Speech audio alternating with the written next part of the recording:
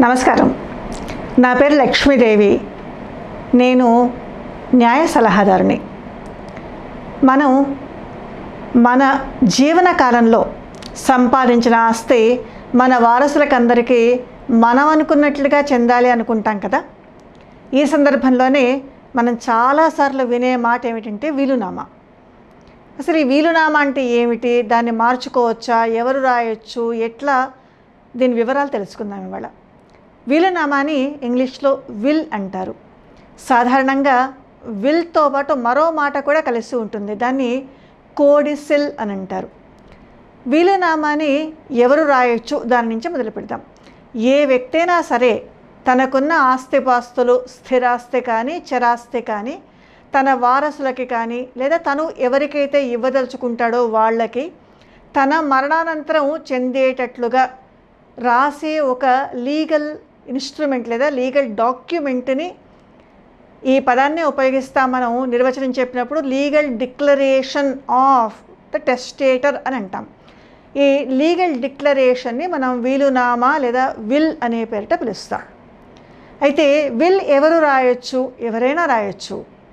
ఆస్తి తమకు కావలసిన వారికి చెందాలి తమ మరణానంతరం ఏ రకమైన పోట్లాటలు లేకుండా తాము అనుకున్న విధంగా అని అనుకునే వాళ్ళు ఎవరైనా సరే వీలునామా రాయొచ్చు. అయితే వీలునామా రాస్తున్న వ్యక్తి అన్సౌండ్ మైండ్ అనే పదాన్ని మనం ఉపయోగిస్తాం. అంటే మానసికంగా సరైన ఆరోగ్యం లేని వ్యక్తి కాకుండా ఉండాలి. అంటే మానసికంగా ఆరోగ్యవంతుడుగా ఉండాలి.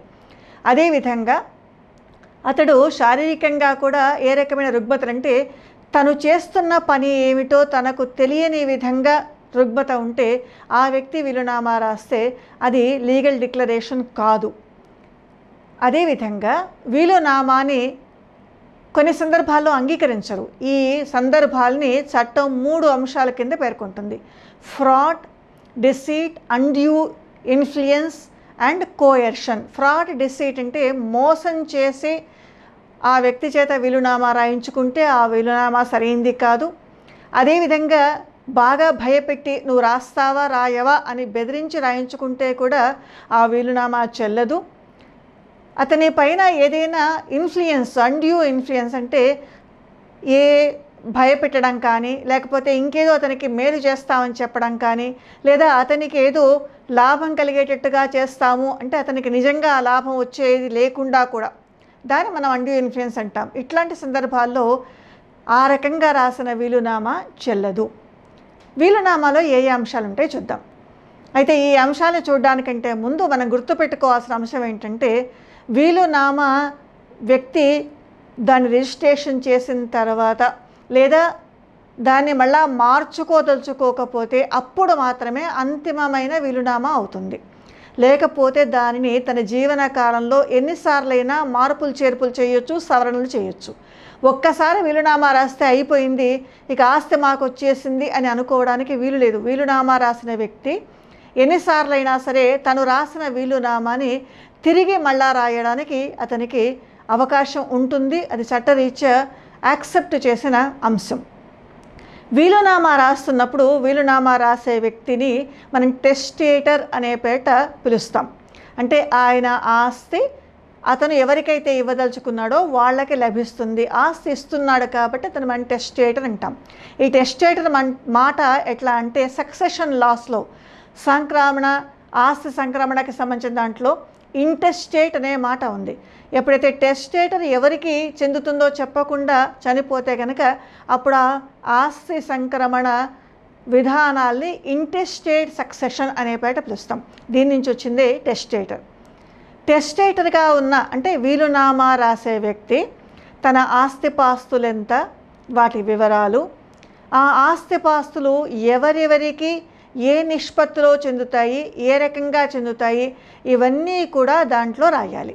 అదేవిధంగా చాలా వరకు ఇది అవసరమైన అంశం. తన మరణానంతరం ఈ ఆస్తిపాస్తుల పంపిణీ ఏదైతే ఉందో పంపకాలు ఏవైతే ఉన్నాయో వాటిని ఎవరు చూస్తారు ఎవరు చేస్తారు? ఈ విషయాన్ని కూడా వీలునామాలో రాయాలి. మరణానంతరం ఈ ఆస్తిపాస్తుల పంపకాల్ని చూసే వ్యక్తిని మనం ఎగ్జిక్యూటర్ అనే పేరుతో పిలుస్తాం. వీలునామా రాసినప్పుడు స్టాంప్ డ్యూటీలు ఏవి ఉండవు. అది ఏ ఏ తెల్ల కాగితం పైన కూడా రాయొచ్చు. అయితే వీలునామా పైన వీలునామా రాస్తున్న వ్యక్తి సంతకం టెస్టేటర్ని పెట్టుంటే కనుక అంటే ఎగ్జిక్యూటర్ని పెట్టుంటే కనుక ఆ ఎగ్జిక్యూటర్ సంతకం దానితో పాటుగా ఇద్దరు సాక్షుల సంతకాలు ఖచ్చితంగా ఉండి తీరాలి. ఎందుకంటే వీలునామా ఒక్కరే రాసుకుంటే కనుక అక్కడ ప్రిజంప్షన్ ఏమిటంటే అనుమానం ఏమిటంటే బహుశా అతను ఎవరైనా భయపెట్టారేమో లేకపోతే అతన్ని మోసం చేయడానికి ప్రయత్నించారేమో ఇట్లాంటి అనుమానాలు వస్తాయి కాబట్టి ఈ అనుమానాలన్నింటినీ నివృత్తి చేయడం కోసం తీసుకునే ఒక చర్య ఏమిటంటే ఇద్దరు సాక్షుల ముందర వీలునామా రాసి సంతకం చేయడం.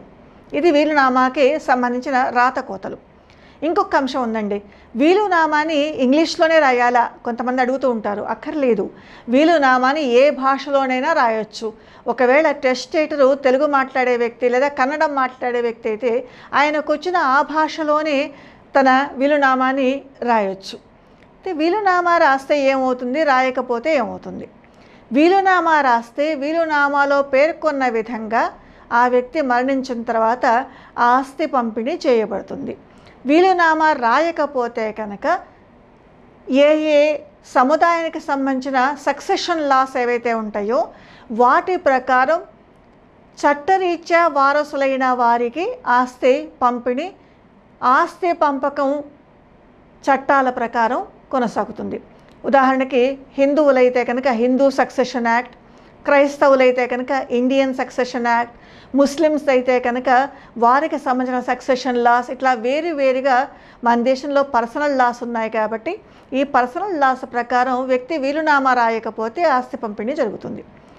చాలా సందర్భాల్లో వ్యక్తులు అనుకునే ఏంటంటే ఈ ఆస్తి పంపిణీ ఆస్తి సక్సెషన్ లాస్ ప్రకారం జరిగితే తమ పిల్లలకి అన్యాయం జరగవచ్చు అని చాలామంది భావిస్తూ ఉంటారు. అంచేత తాము ఉన్నప్పుడే తమకు అన్ని విషయాలు తెలుసు కాబట్టి సజావుగా ఆస్తి పంపిణీ కావాలని వాళ్ళు చాలా బలంగా కోరుకుంటారు కాబట్టి వీలునామా రాయాలని భావిస్తూ ఉంటారు. సరే వీలునామా రాశారు. మరి దానికి అథెంటిసిటీ ఎట్లా? ఎప్పుడు వీలునామా అమల్లోకి వస్తుంది? ఒకసారి చూద్దాం.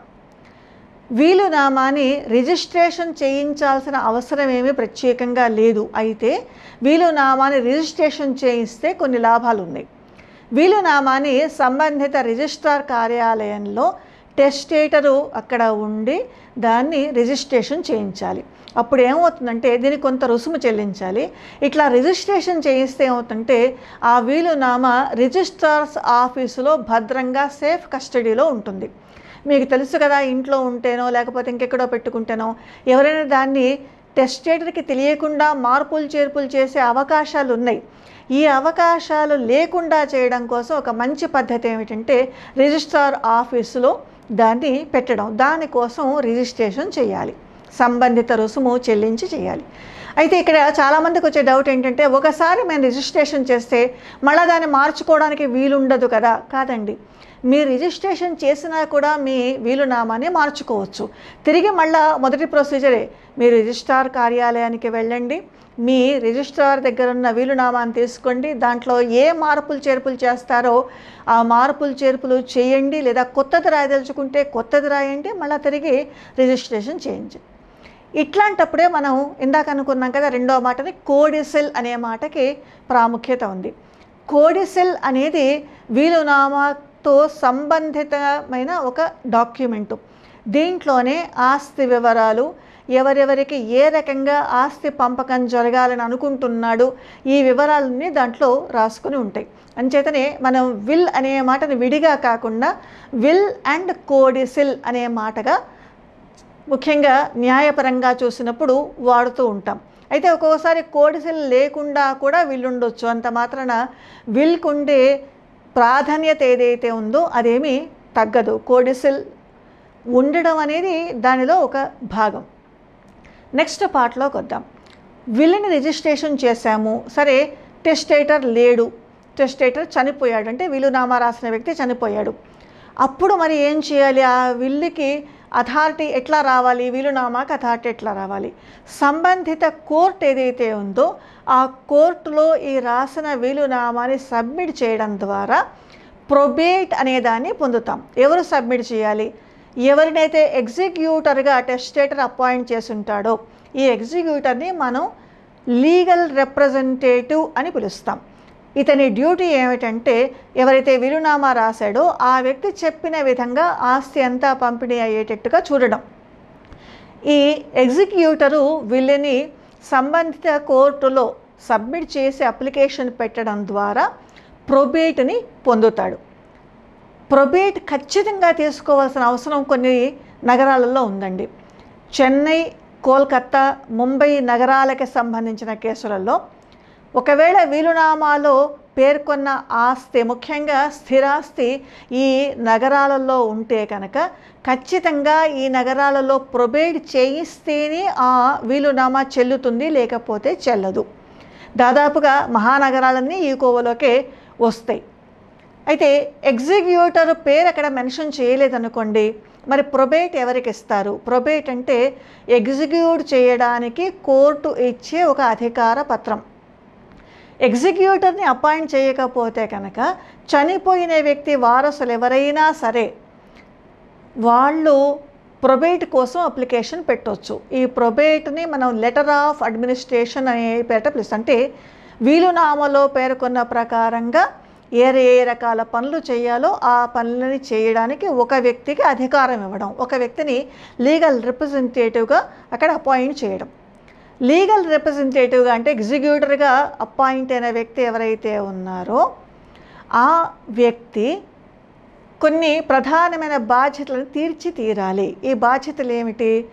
టెస్టేటర్ లేదా వీలునామా రాసి చనిపోయిన వ్యక్తి ఆస్తులు ఏవైతే ఉన్నాయో వాటిని క్రోడీకరించడం అతను చెల్లించాల్సిన అప్పులు కానీ ఇంకేదైనా ఆబ్లిగేషన్స్ కానీ ఉంటే వాటిని ఈ ఆస్తి నుంచి చెల్లించడం అతనికి రావలసిన అప్పులు కానీ ఇంకేదైనా ద్రవ్యపరమైన అంశాలు కానీ రావలసి ఉంటే వాటిని వసూలు చేయడం వీలునామాలో పేర్కొన్న పద్ధతిలో ఆస్తి పంపిణీ సక్రమంగా సజావుగా జరిగేలా చూడడం. ఇవి నాలుగు అతని ప్రధానమైన డ్యూటీలు. మనం టెస్టేటర్ ఎగ్జిక్యూటర్ అనే రెండు మాటలు ఉపయోగించుకున్నాం కదా.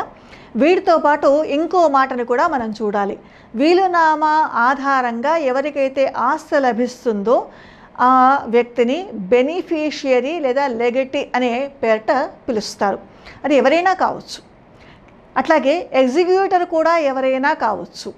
ఆఖరికి మైనర్ని కూడా ఎగ్జిక్యూటర్గా అపాయింట్ చేయొచ్చు. అయితే ఇక్కడ ఒక లీగల్ ఇంప్లికేషన్ ఏంటంటే ప్రొబేట్ తీసుకోవడానికి వెళ్తే కనుక ఎగ్జిక్యూటర్ మైనర్ అయితే కనుక అతని ఎగ్జిక్యూటర్గా ప్రొబేట్లో ఇవ్వరు కాబట్టి మనం చూసుకొని మన విషయాలని తెలిసిన వ్యక్తి ఆస్తి పంపకం వాటికి సంబంధించిన వివరాలని ఖచ్చితంగా తెలిసిన వ్యక్తి మైనర్ కాని వ్యక్తి అన్సౌండ్ మైండ్ లేని వ్యక్తి మనల్ని ఏ రకంగా కూడా మోసం చేయడు అని మనకు ఖచ్చితమైన నమ్మకం ఉన్న వ్యక్తిని ఎగ్జిక్యూటర్గా అపాయింట్ చేయడం మంచి పద్ధతి.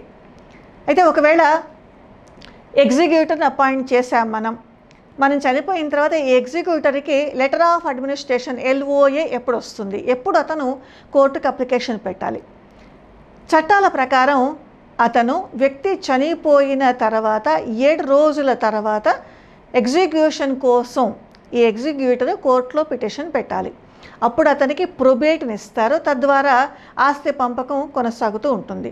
కొన్ని సందర్భాల్లో ఇది కేవలం ఏడు రోజులు కాకుండా ముప్పై రోజుల దాకా కూడా ఉండొచ్చు. అది ఎప్పుడు ఇంటర్స్టేట్ ఏర్పడినప్పుడు ఎగ్జిక్యూటర్ పేరు సక్రమంగా అక్కడ మెన్షన్ చేయనప్పుడు ఎగ్జిక్యూటర్ మైనర్ కానీ లేకపోతే ఇంకే ఏ రకంగానైనా సరే చట్టరీత్యా అతనికి ప్రొబేట్ లభించిన సందర్భాల్లో మనం ముప్పై రోజుల పీరియడ్ని కూడా తీసుకుంటాం.